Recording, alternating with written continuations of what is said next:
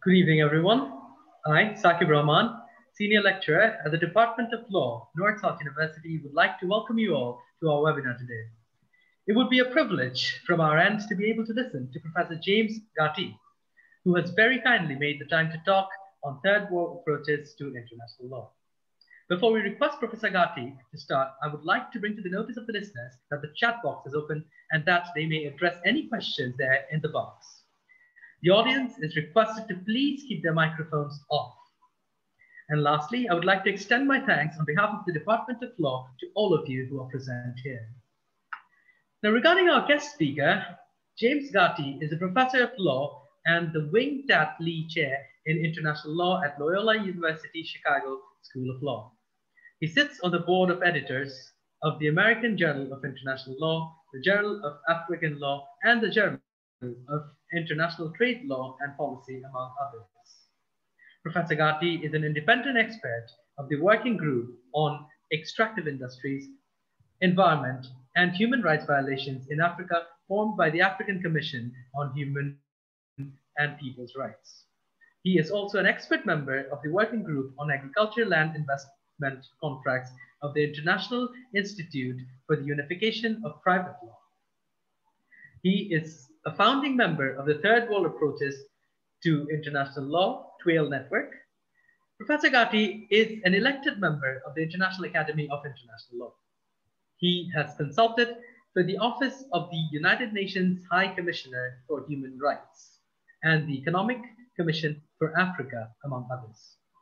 But before we go to Professor Gathii and before we listen to Professor Gathii, I would like to request Professor Mohammad Rizwan, Rizwanul Islam, Chair of the Department of Law at North South University for his introductory remarks. Thank you, sir.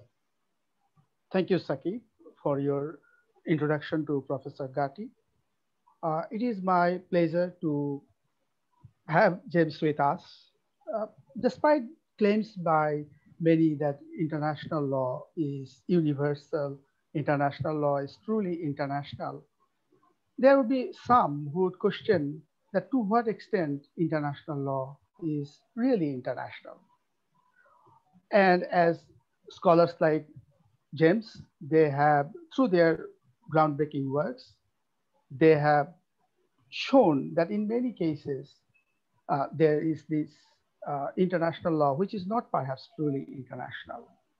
Or international law can be an instrument of, if not subjugation, at least the domination of the global south in some ways.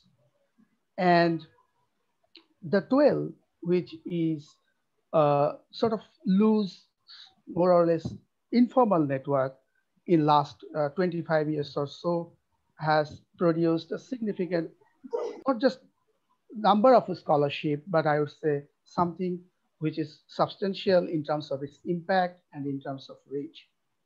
Not all TWAILers would subscribe to the same views on international law, but nonetheless, I think there are some overarching themes on which uh, the TWAILers do agree, or we can find some strands in their arguments. For example, I would, argue, I would think most TWAILers would somehow relate their works to history. And their work is dedicated to make this international legal order a more egalitarian legal order. Their work is more reform oriented. And they try to give voices to those who are otherwise voiceless. With that brief introduction, dear audience, I thank you for your kind participation. And I once again thank Professor Gathii for his uh, generous response to my invitation. I look forward to the talk uh, of this evening. Thank you very much.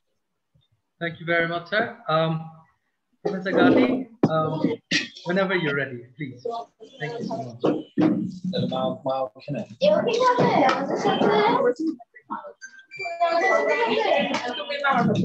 মানে সব লাগে যাচ্ছে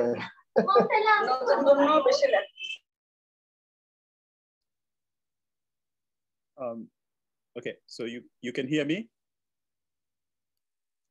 So thank you uh, very much, uh, Professor Rizwan Islam uh, and uh, Mr. Saquib Rahman for this kind invitation and introduction.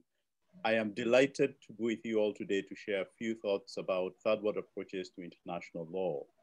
Uh, before doing so, uh, let me say a few preliminary thoughts uh, uh about why this topic is very important to me, uh, especially as uh, Professor Islam mentioned to many third world scholars.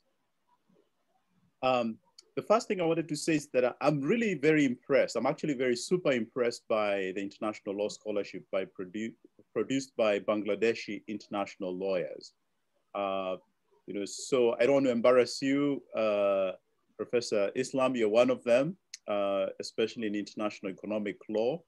Uh, recently, uh, he convened uh, a very successful written symposium uh, on the Regional Economic Cooperation Partnership Agreement, the RCEP, uh, for a blog I'm involved with called afronomicslaw.org. And he was able to galvanize uh, the leading scholars in international economic law, showing truly that he is one of those. Um, in addition, uh, just a week ago, we, on that blog, afronomicslaw.org, carried a week-long book review symposium of a book written by uh, Dr. Rumana Islam, uh, who is an associate professor at the Department of Law, University of Dhaka. The book is entitled The Fair and Equitable Treatment Standard in International Investment Arbitration, Developing Countries in Context, was published by Springer in 2018. Um, in addition, uh, you may know that there is a pioneering volume edited by another Bangladeshi scholar, Professor Shahabuddin, Mohammed Shahabuddin, uh, of the University of Birmingham Law School. That book, which I encourage you, if you don't already know about it and haven't seen it and haven't read it, Bangladesh and International Law. It is a 2021 volume. Um, as uh, Professor Shahabuddin uh, notes intro in the introduction to that important book, it is the first ever comprehensive study of international law issues, both classical and contemporary from Bangladesh perspectives. Uh, that book is contextualized within the global power political environment within which international law operates. It challenges the Eurocentrism that Eurocentricism that characterizes the scholarship and practice of international law. It centers perspectives of global South countries and peoples uh, and quite importantly, as Professor Shahabuddin notes in the introduction to that book, it's written by a group of Bangladeshi international lawyers representing different generations. And I really like the assertion in the book that it represents Bangladesh's and the global South's international law stories of suffering, of solidarity, of resilience, of resistance, and success. Um, finally, as part of this very introductory remarks, uh, before I say uh, more about third world approaches to international law, I also want to mention another very important initiative in the Asian region that I admire very much. And, and this is the Teaching and Research in International Law in Asia Network, TRILA, the Teaching and Research in International Law in Asia uh, network uh, that is uh, been doing a lot of uh, workshops in uh, various law schools around uh, the Asian region, um, whose goal is to bring together academics, particularly young academics, to meet and share their experiences and to network, in addition to discuss the challenges of teaching and research these scholars face, to evaluate the Asian experience in terms of global developments for their scholarship and their teaching, and to provide guidance on the writing and research of international law. In my view, uh, TRILA, like TWAIL, is a really good model for enhancing and deepening international law research and teaching that is centered on the priorities, needs, and interests of developing countries like Bangladesh and uh, my country, Kenya, which I'll say something brief about in a couple of minutes. Um, so I, I want to uh, begin by saying that this uh, network, the Third World Approaches to International Law Network, uh, was uh, it's an old idea, as I'll say, in the sense that there have been many international lawyers from developing countries that have been working uh, on the themes that I'll talk about, three main themes, one of which has already been mentioned uh, by Professor Islam. Uh, that's the history of international law. But also, it has very humble beginnings in the sense that uh, when uh, uh, a few of us, about you know, 20, 25 years ago, uh, came up with this acronym, Third World Approaches to International Law. We did not think that, uh, you know, 20 years later, that it would really become a galvanizing uh, uh network uh, that now has, has many voices uh, all over the world. And so, you know, if you're a law student and you're interested in international law, um, lots of uh, things can happen down the way if you sort of are truly committed to your element. Um, so uh, as I said, I want to say a few things about why, for me, uh, the work I do, uh, the practice of international law that I engage in, uh, is important. And I want to begin by saying, as as an elementary school and high school student growing up in Kenya many years ago, Kenya is on the eastern seaboard of Africa. The history I got taught and tested on in high stakes national exams. I don't know if they have high stakes national exams in high school and elementary school in Bangladesh. They still have them in Kenya. Uh, I really was taught to learn some very important dates and some very important personalities. And then I would have to cram those dates and those personalities, especially in my history. And then I would have to reproduce those dates and those personalities in the national exams. Um, and it was very competitive, for example, to get to law school. So you'd have to be very good at uh, cramming all that stuff uh, to make it uh, to the professional schools. Um, I vividly remember my history uh, uh, learning how European missionaries and explorers discovered Mount Kenya, the highest mountain in Kenya, the source of the River Nile, uh, among other important geographical landmark features. those facts about those European explorers, uh, like uh, David Livingstone and others, and, and, and, many others that I'll not mention, were really key to making sure that I passed my exams. This history of the discovery of Africa and how land was appropriated for white settlement uh, indicates uh, the European centered uh, nature of the history that I was taught the agency of African peoples was erased from this history. Now, of course, this history is based on several problematic assumptions, all inaccurate, but clearly an indication of who wrote this history that I was supposed to learn. First of, all, of course, it assumes that before these European missionaries and explorers saw these landmarks, that no one else had seen them. Uh, they also assumed that no one lived on these territories until white people came from Europe to discover these African landmarks. Uh, these European explorers and merchants and uh, explorers, it's assumed must have been so brilliant that they could find their way around Africa to places that nobody had ventured before. And voila, they, are, they discovered uh, these landmarks uh, that no one had seen before.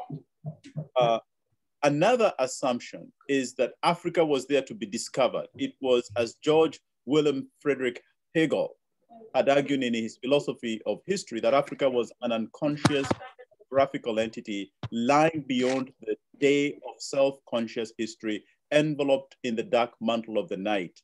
Uh, for Hegel, Africa was locked in the land of childhood. You do not have to be a Kenyan or an African to see the assumptions underlying this doctrine of discovery, as it is called, according to which European explorers and missionaries discovered vacant, so-called vacant non-European lands. Uh, of course, this was a self-serving doctrine to justify European colonial con conquest over non-European lands. Now, let me use an illustration that might be relevant uh, for Bangladesh. Uh, Raja uh, Devashish Roy, the titular Raja of the Chakam, of the uh, of the Chakma Sako of indigenous community, and one of the indigenous communities there, was a member of the United Nations Permanent Forum on Indigenous Issues from 2014 to 2016. He told that commission in 1994, and I quote, the discovery doctrine had no legal standing. It was a racist exercise in legal gymnastics, which was dead. He told the Permanent Forum to examine the legacies of this doctrine, which he noted was unfortunately alive and kicking in national laws, in policies on land, forests, and natural resources, whether contrary to or in line with national constitution. He told the commission that most national constitutions declare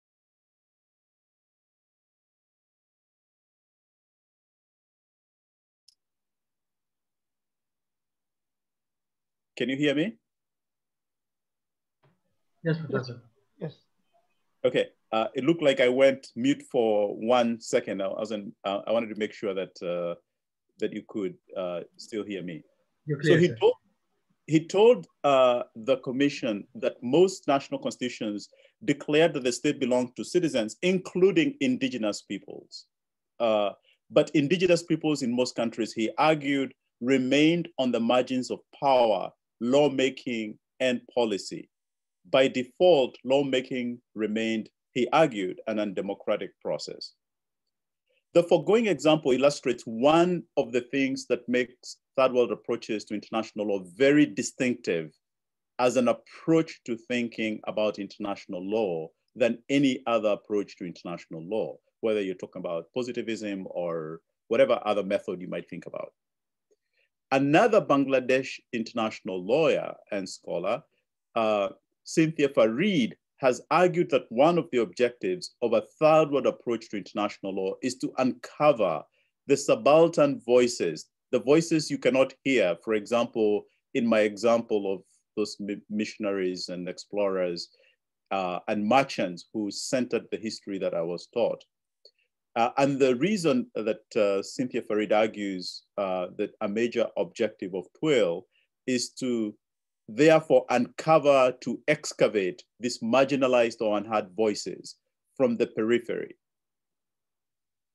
Projects like the teaching and research of international law in Asia, the TRILA uh, network, uh, Afronomics law, uh, the third the third world review, the uh, uh, there's now a, a, a TWAIL review, um, and the International Economic Law Collective are examples of networks that are trying to counter the Eurocentric nature of international law uh, that uh, still pervades a lot of international law scholarship and the kinds of books that are often used in the teaching of international law.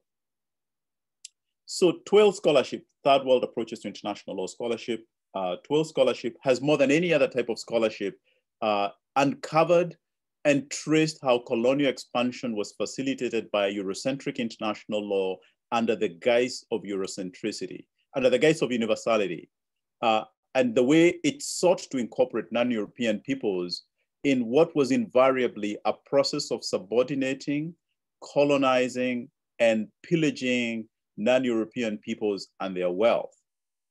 TWAIL scholars have argued that international law arose in large part to facilitate the acquisition of non-European territories and to guarantee uh, rules of international law, like those of international economic law, uh, uh, protect the commerce and commercial routes that brought raw materials from the non-European world to the European world. You know, so uh, uh, TWAIL scholars try to uncover those stories that are not often the stories that are told in international law.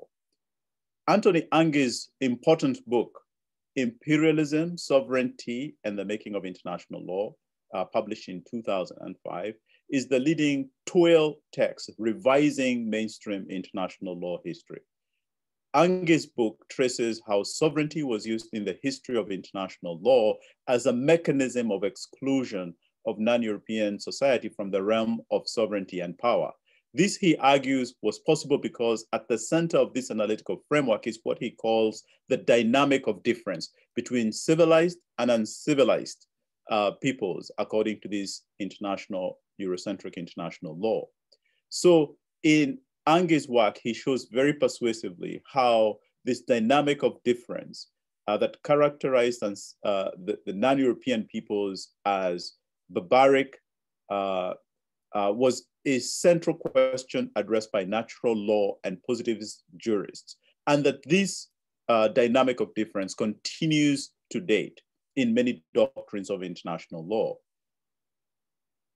So Anghie's work is really very important, uh, and he sort of led a whole generation of third world international law scholarship to show how early international law publicists like uh, Vitoria uh, justified the right of European states to hospitality and then to engage in war if the people they visited, like the Indians of North America, refused to uh, accept uh, to be hospitable uh, to uh, these Europeans when they arrived on their territory. And also to justify not just the conquest, but also the trade that uh, these European merchants and explorers and missionaries came with from, from Europe. So um, I would say, therefore, it's really important uh, in studying the history of international law uh, to trace uh, the hallmarks of colonialism embedded within that history, uh, as many third world international law scholars have done, and how the vestiges, the remains of that history can still be seen not just within the League of Nations mandate system or the trusteeship system of the United Nations system, or in many other ways within the Bretton Woods institutions, the World Bank and IMF. And I'll not go into many details about that. Perhaps if there is time, we can talk about that in the question and answer session. So for TWAILers, uh, therefore, uh, international legal history is not a linear progress history uh, in which order overcomes chaos or in which backwardness or the uncivilized nature of non-European peoples has to be overcome by adopting civilized, so certain hallmarks of civilization. Rather, many aspects of colonial Eurocentric international law continue to be embedded even today in post-colonial international law. So let me go to the second distinctive aspect. The first uh, distinctive aspect of third world approaches to international law, I said, is history. Uh, the second is that, and is very related to this, the first is the third world approaches to international law provides a substantive critiques of both the politics and the scholarships of international law. For example, it is important to note that the almost total absence engagement with issues of race in international law scholarship. In fact, in the Bangladesh and International Law volume edited by Mohammed Shahabuddin that I mentioned, he mentions the uh, League of Nations, uh, the, the, proposal, excuse me, uh, by Japan, uh, known as the Japanese Racial Equality Proposal in 1919 at the League of Nations. And he notes, uh, Professor Shahabuddin notes, that even though the Japanese were promoting this racial equality proposal, that was really very important because the Japanese were facing uh, a lot of criticism in the United States because of Japanese immigration into the United States, Japan was not committed to racial equality in its relations with other parts of Asia. Uh, so a lot of work still remains to be done on this point uh, about the, the, the, structuring nature of race in international law. Uh, this point about race reinforces the second TWAIL insight that international law and international legal scholarship is a crucial field of struggle against domination and marginalization of non-European states and peoples and entities, but also minorities of color, as well as indigenous peoples who live in the settler countries of the global north. So for example, uh, the African Americans, uh, the indigenous peoples of, of North America, Australia, uh, all those uh, settler countries uh, have many similarities with uh, a lot of the indigenous rights entitlements of the global south. And a lot of important TWAIL work is being done to uncover those similarities and to make them more conspicuous than they have been. So a key feature, therefore, of TWAIL's decolonizing agenda is exploring the extent to which these marginalizations uh, are covered up by the liberatory goals uh, of international law, sovereign equality, self-determination, rights, development, and equalities. TWAIL scholars emphasize how these liberatory goals coexist alongside economic hierarchy and subordination between nations, and therefore carry forward within them the legacy of colonial conquest and European imperialism.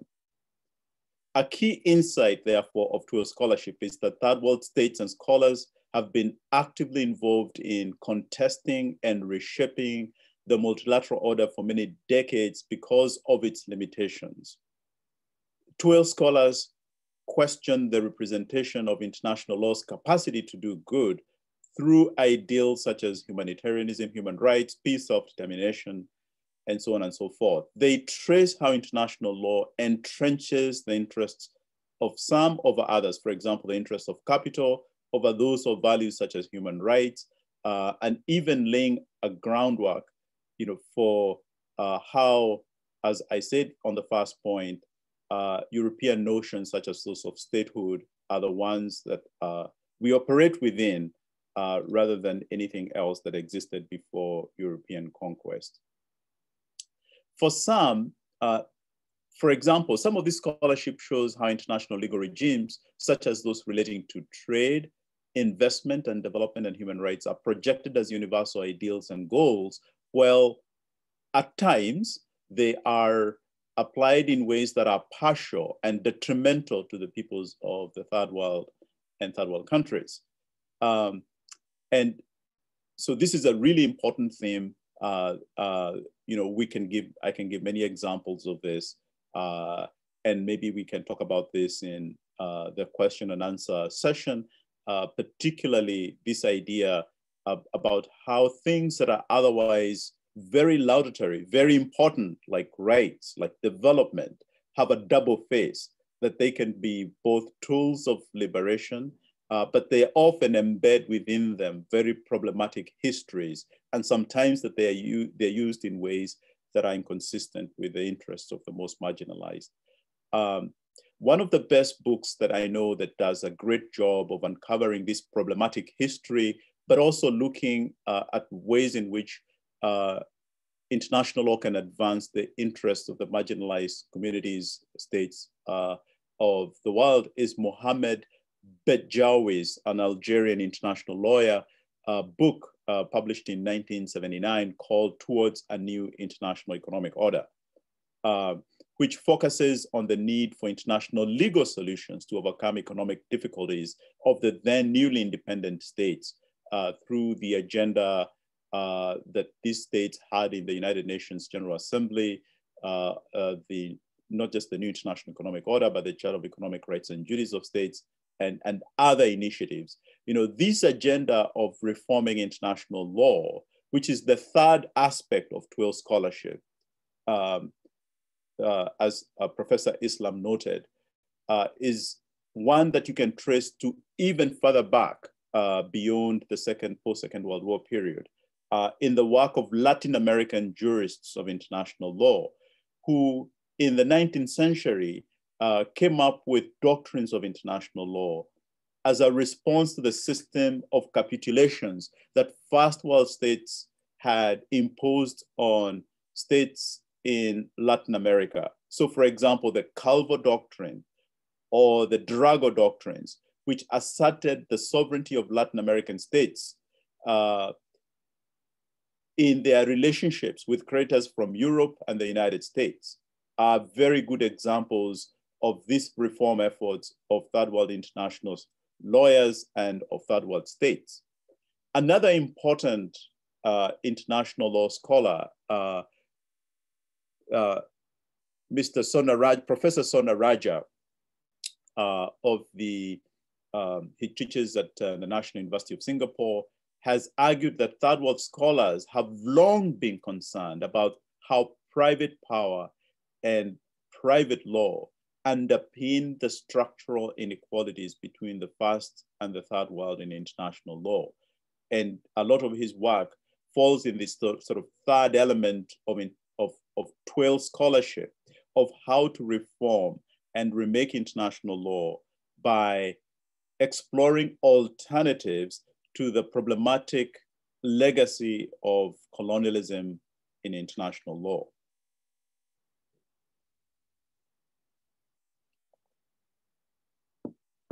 So I want to, uh, as I come uh, to an end uh, in this lecture, emphasize that TWAIL is not simply a, an oppositional type of scholarship or a deconstructive type of scholarship, as some people would argue. Rather, uh, it is a scholarship that also tries to propose alternative ways of thinking about the role of international law in the global uh, political economy uh, in ways that overcome the subordination of not just third world states, but of third world peoples, uh, even those peoples that might be subordinated within third world states, or like I said, the minorities within the global north. So um, from this perspective, um, therefore, uh, TWAIL occupies uh, almost sort of a double uh, track. On the one hand, sort of looking quite critically at the way in which international law tells stories that subordinate certain histories and that legitimize certain outcomes. While on the other hand, uh, and also, by the way, challenging uh, the underlying premises, uh, for example, the Judeo-Christian ideals that seem to underlie a lot of uh, sort of the uh, ideas about international law. Well, at the same time, uh, figuring out ways of overcoming those inequalities that are embedded, that go back a long time ago, that are colonial and so on and so forth, uh, that go back a long way. So for example, how to reform uh, institutions like the United Nations Security Council, uh, where there's no representation of Africa or Latin America, for example, in the, uh, uh, in the, in the permanent five of the Security Council uh, or how the voting structures of the Bretton Woods institutions um, uh, exclude uh, the voices of the most marginalized countries in the world because there, as you know, in the voting structures of the Bretton Woods institutions, there's what they call weighted voting.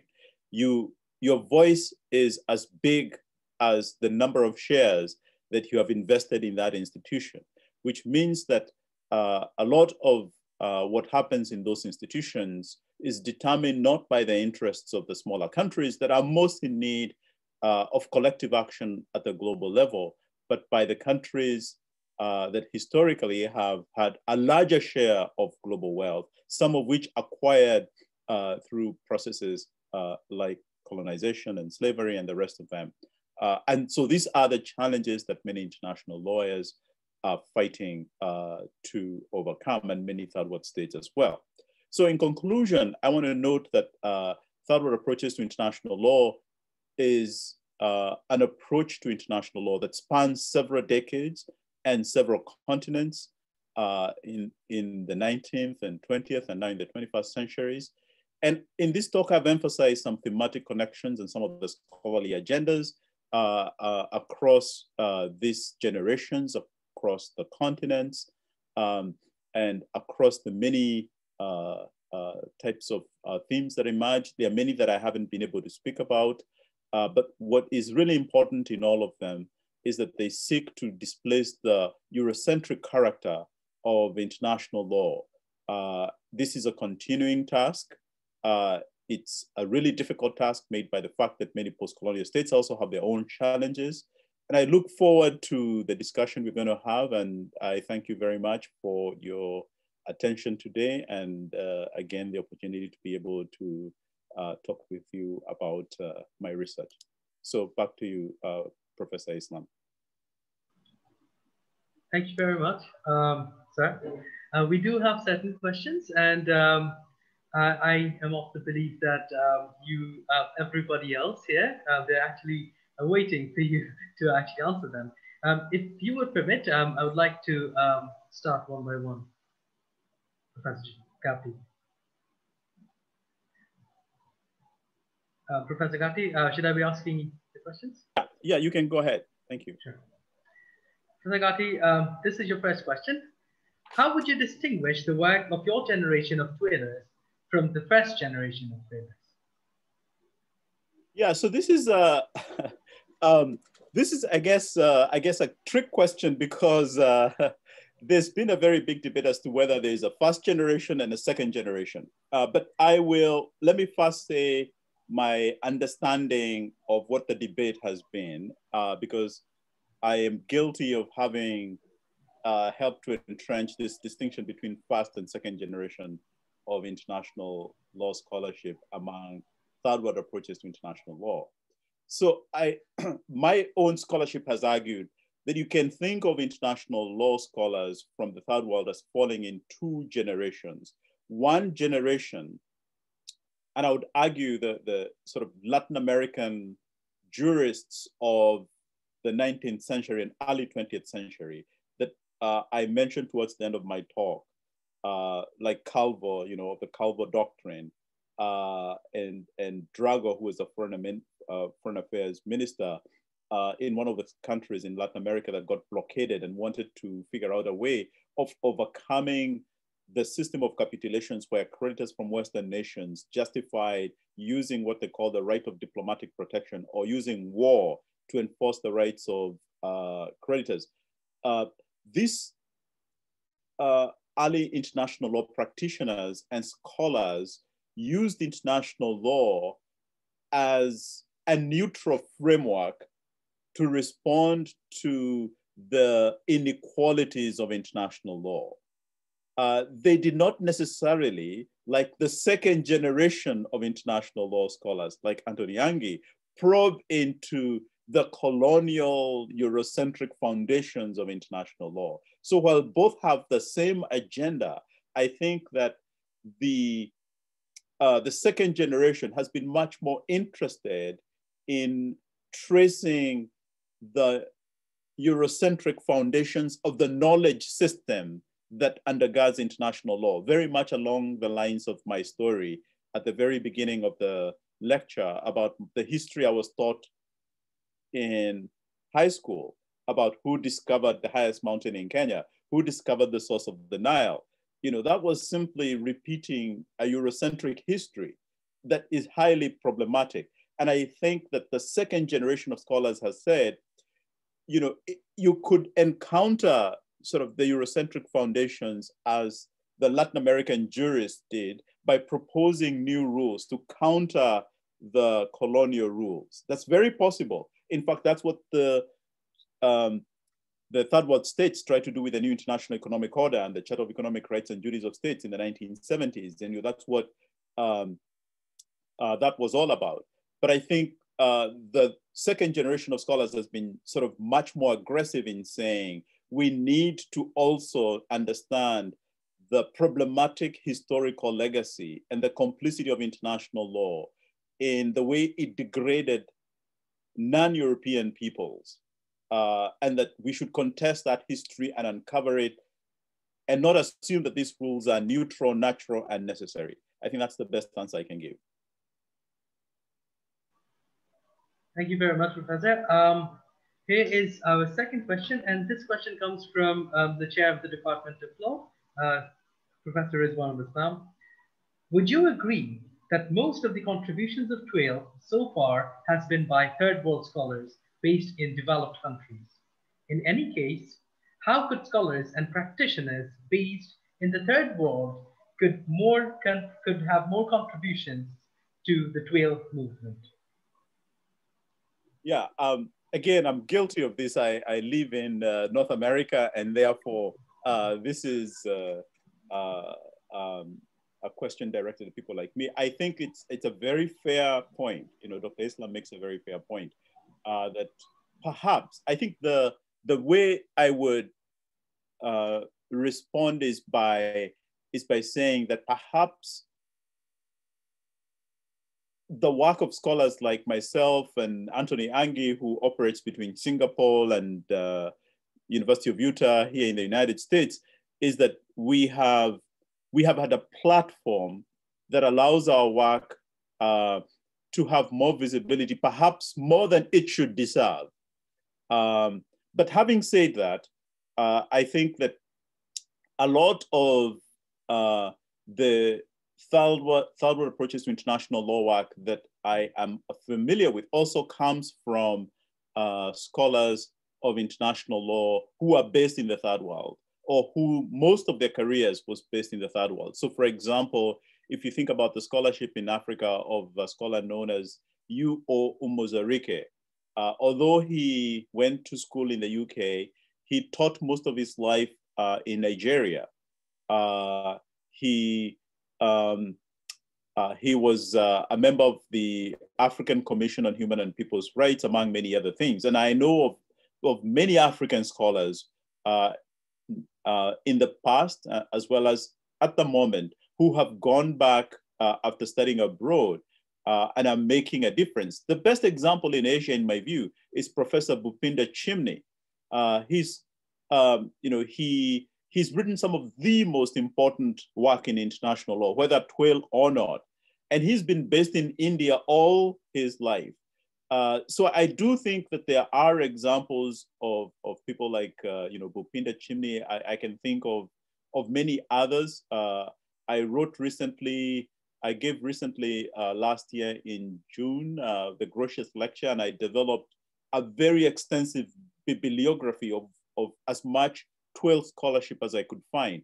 And I can tell you that a lot of that scholarship has been written by, uh, by scholars who are based, uh, like uh, Professor Islam, in the third world. Uh, so I think, unfortunately, uh, we have had the microphone, you know, the megaphone, but uh, that is not to say that there is no, that is not to say that there is not, that there is no important work that's being done uh, by third world scholars in, in, the, in the non-Western world. And I personally am very committed to amplifying and centering the work of uh, third world scholars who are working in the third world. And that is why today I intentionally uh, was mentioning Bangladeshi international scholars who I have interacted with and whose work I really admire because I think it's our joint responsibility to promote that work. Thank you very much, uh, Professor. Uh, Professor, we have another question. It's from Ms. Antara Tasni.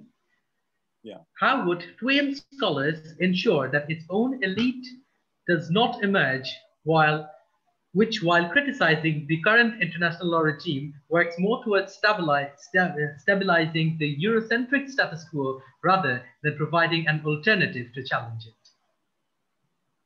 Yeah, that's a really, really very, very another good question, another very, very good question. And, uh, and you know, to answer that question, I will, um, let me try to answer it the best way I can about how I think about this challenge of the, can, can the master's tools be destroyed using the tools of the master? You know, sort of that's sort of a, a, a, another way of rephrasing that question. And my response is that every effort to overcome the problematic legacies of international law using rules of international law have both the danger of overcoming those problems, but also of entrenching them.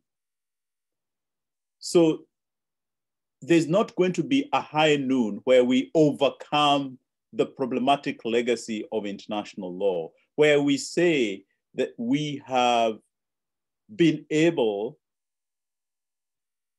to erase the Eurocentric legacy of international law. I am here speaking to you in English, which is imposed on the country where I grew up because it was a British colony the books that I used to read international law were all written by British international law scholars. it's going to be very difficult to overcome that legacy. A friend of mine became the dean.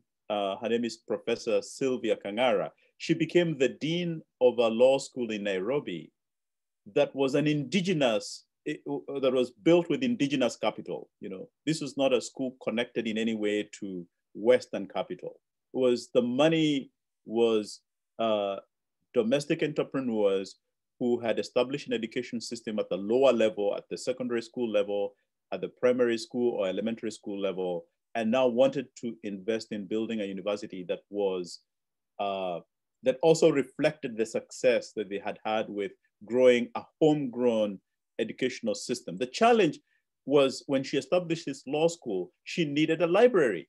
And then Sylvia Kang'ara had to go to the UK to spend millions of pounds to buy books because there were no books available in um, uh, in Kenya, unfortunately, uh, that would satisfy the educational accrediting authorities that this university, uh, this law school that she was putting up, uh, could educate the students. So that's a very good example, as this question reflects, of how you restabilize, even when you're trying to build, you restabilize the problematic international law uh, legacy.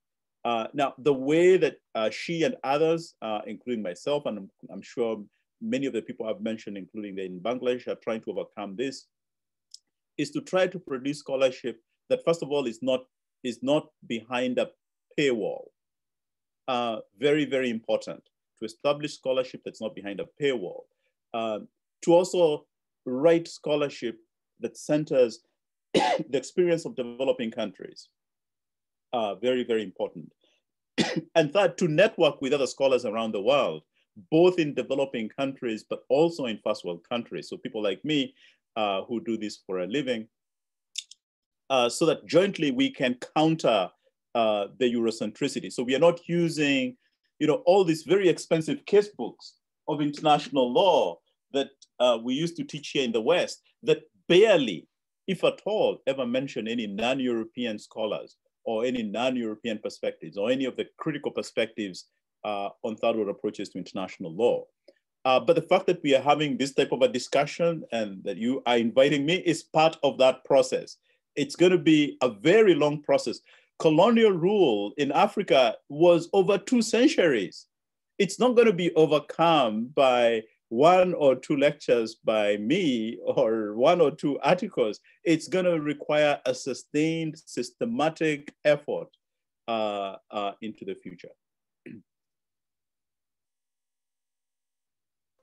Thank you very much, Professor. Um, Professor, we have another question. Um, considering uh, the new new generation, would you say that this the, the TWAIL is now a part of the mainstream method of studying and researching international law? I wouldn't say that it's the mainstream. Um, I, I, teach in North America, and uh, and uh, well, I have had, uh, I've been very lucky to uh, to be, for example, on the board of the American Journal of International Law. Um, this is not by any stretch uh, the mainstream view of uh, international law in North America. And I can say that perhaps that's the case uh, in, in places like Europe uh, and elsewhere.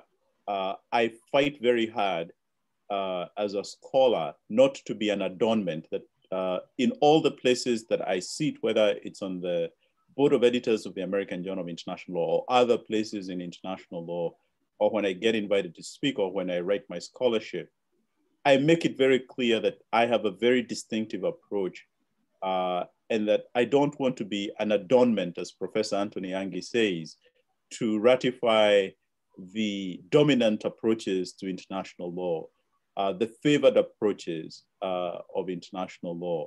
So uh, while I think third approaches to international law scholars have done extremely well in galvanizing the voice of third approaches to international law. It is a marginalized and a marginal approach to international law within the mainstream.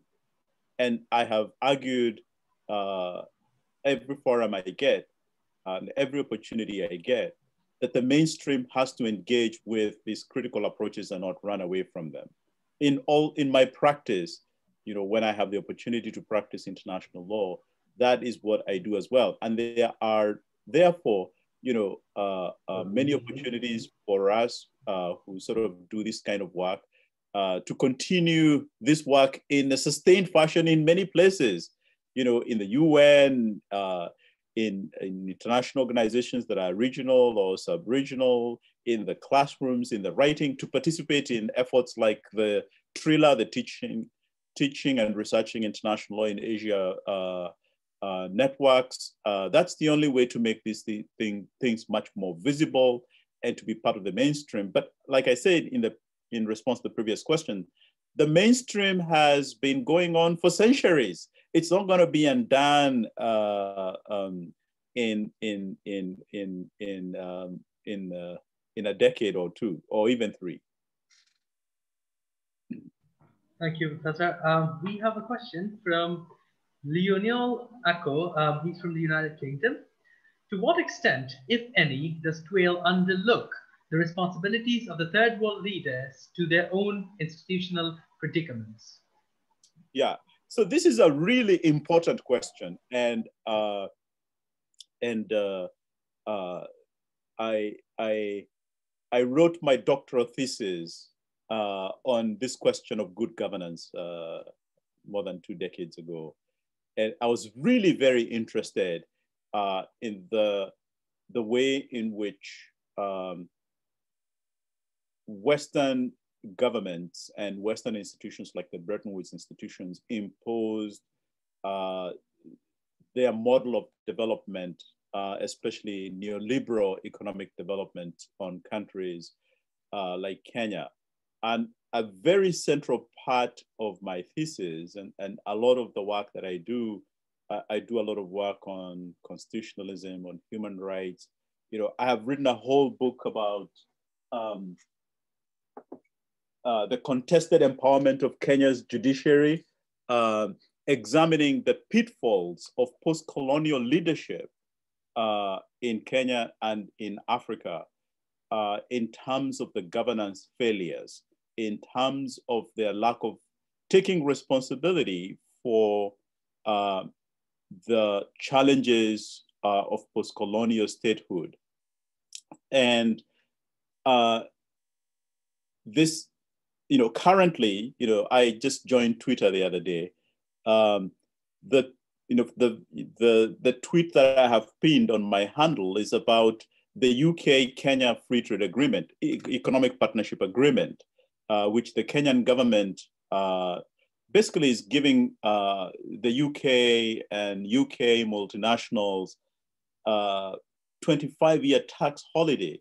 And it's really infuriating uh, to see those types of deals uh, that uh, African governments uh, continue to give Western countries. So if you look at my work on international trade law or my work on you know, human rights or constitutionalism, or the work of many TWAILers that I'm, I'm familiar with, you know, whether it's a, whole series of TWAILers that are now UN special rapporteurs, uh, um, the, the rapporteur, the UN rapporteur on the right to food, um, uh, my friend, uh, Professor Michael Fakhri, uh, the UN uh, um, special rapporteur on racism and xenophobia, uh, um, who whose uh, parents uh, grew up in, in, in Africa, all of us have really been concerned about the responsibility of post-colonial states uh, for what they're doing uh, internally. Uh, and, and so this is something that I think you will find, you know, TWAIL scholars that are just interested in uh, the West versus the rest. They're interested in, you know, what's happening within sort of the global South as well. Thank you, Professor. Um, one more question. Do you see that the work of TWAILers is having any impact on the law and policymaking in the global south?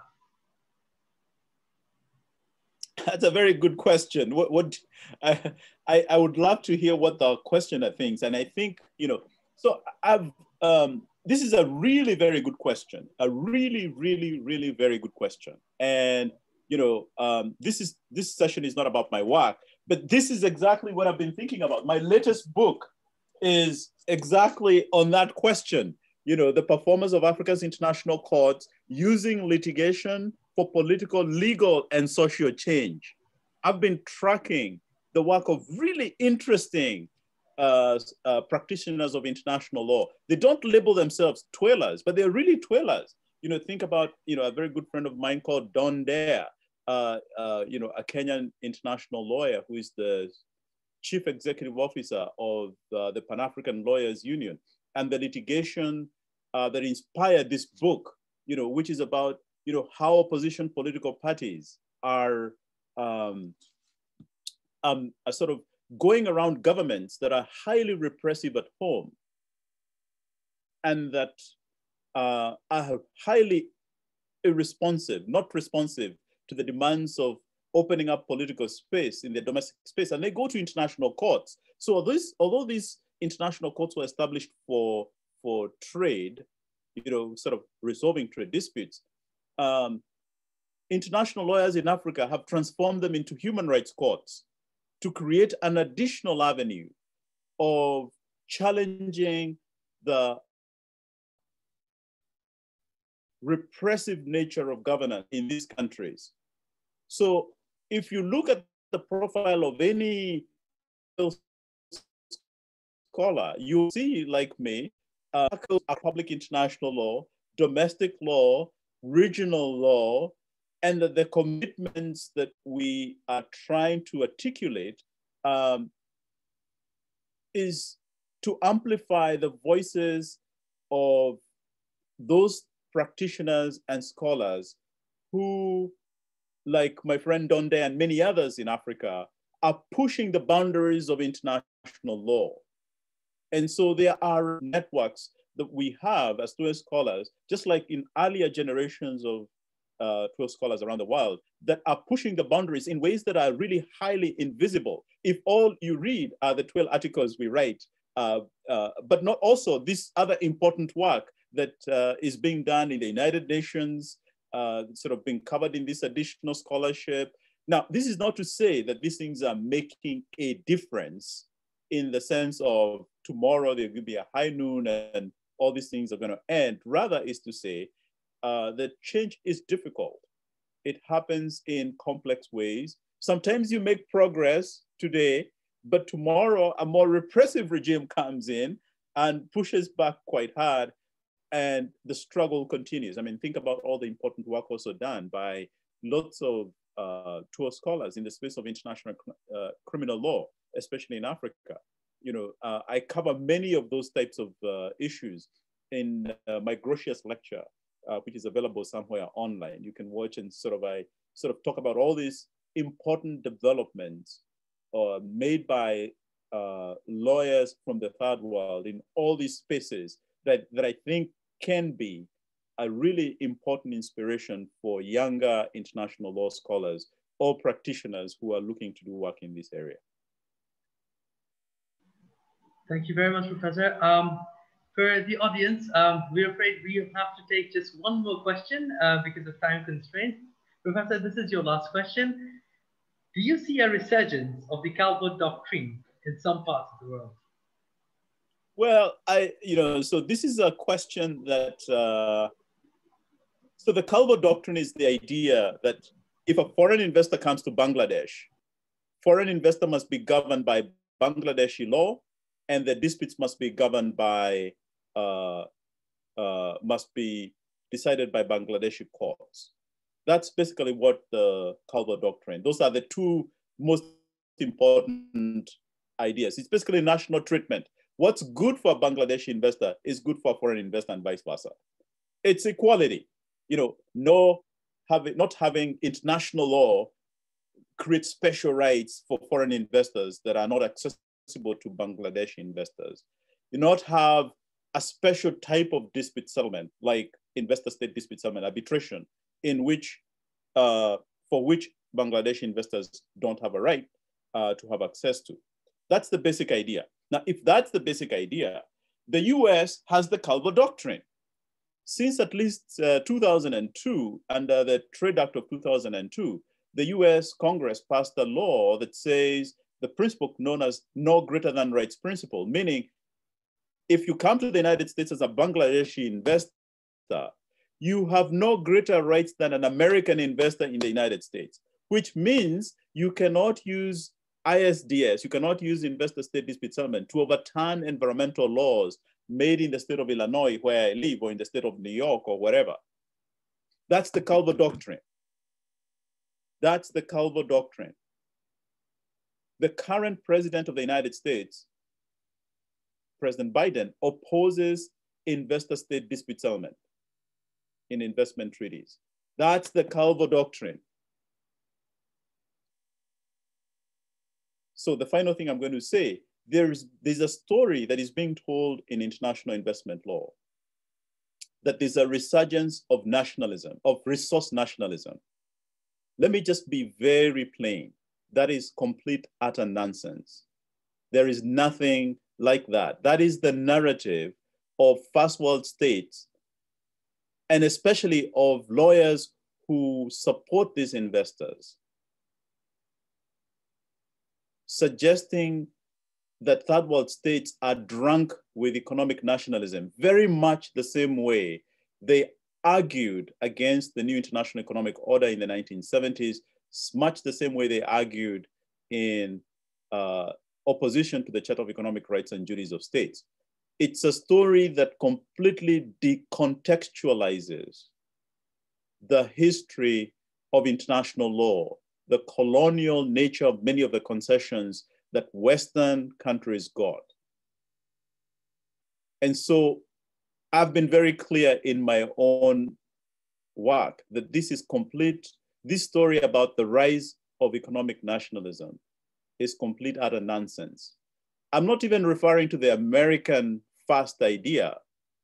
Uh, that's not the point. The point is that there's a long history within which we must see these ideas. And we must be suspicious of ideas uh, that, I'm not even talking about permanent sovereignty of natural resources. Um, I'm not even talking about the constitutions of many third world countries, and I'm sure Bangladesh uh, is one of them, uh, where the resources of Bangladesh are supposed to be used for the sole use of the people of Bangladesh and not for other people. So the final thing I'm going to say is is something connected to the first point, one uh, uh, in response to one of the earlier questions, which is to say, unfortunately, many elites in the third world, including in my own country, Kenya, like I gave the example of the UK Kenya Economic Partnership Agreement, are far too willing to sign concessions that are, and contracts and deals that are highly beneficial to a very narrow class of domestic elites it's a problem in many parts of the developing world. Professor Bhupinder Chimni calls this the transnational capitalist class. And we must, we, the third world people, we must be able to call these elites for what they are. Uh, they are helping the project of Western capital and therefore they are part of that Western capital and again, and serving against the interests of the people of the third world. The story about economic nationalism is a story being, is a very partial story being written on the other side, um, and one that should be rejected for what it is, complete utter nonsense. I'm sorry to use those words, but that's what it is. So thank you very much. Professor Gathii, um, thank you very much. Uh, to the audience, thank you very much. Uh, it was an absolute pleasure to have actually had you, uh, Professor Gathii, and we do look forward to inviting you even more. Um, for the audience, I would like to bring to your notice that uh, we will have the YouTube um, video and uh, we, we will be uploading this particular um, lecture um, in our YouTube channel. So you are requested to uh, subscribe to our YouTube channel and you do have in your chat boxes uh, the concerned link. Uh, Professor Gathii, um, thank you again. And uh, if there's anything you'd want to say to the audience, um, final words, and then we will be ending the session. Well, thank you very much, everybody, for being here and being very patient and for your excellent questions. I apologize if I've not been able to answer them to your satisfaction. And I thank uh, you, uh, uh, Mr. Rahman and Professor Islam, uh, very much for inviting me. I'm really humbled to have been part of this conversation with all of you. And uh, I look forward to continuing the conversation with all of you. Thank you very much, sir. Thank you very much. Good night. Okay. All right. Good night, everybody. Bye-bye. Good night, everybody. Thank you so much for being here. Bye.